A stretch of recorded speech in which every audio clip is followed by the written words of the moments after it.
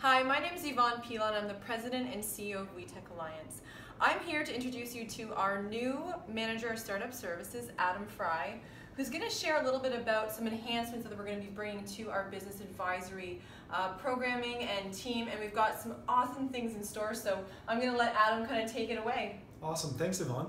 So first and foremost, I want to thank everybody who filled out the survey and sent that back to us. It's really, really valuable to us to get that info from our clients. What we've been doing is we took that, uh, everything that you sent to us, and we've put it into three brand new programs that have really tangible value coming out of them for you. So first and foremost, our regular coaching and mentoring is still going to be ongoing, so please reach out to us when you get the chance to. We'd love to meet you and start working.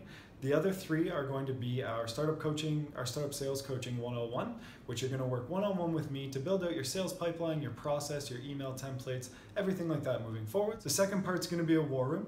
We're going to be taking uh, companies that are in the same sector, that are at the same point, bringing them into a room where they can get tangible coaching with an expert on a very, very specific problem with their business.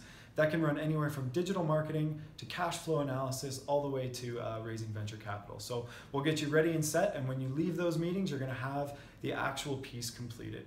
Um, finally, keep your eyes out for our Startup Accelerator that's going to be launching our second iteration in January 2018. So it's our Libro Startup 2.0. Finally, please just reach out to us. We'd love to uh, get started and helping you grow your business.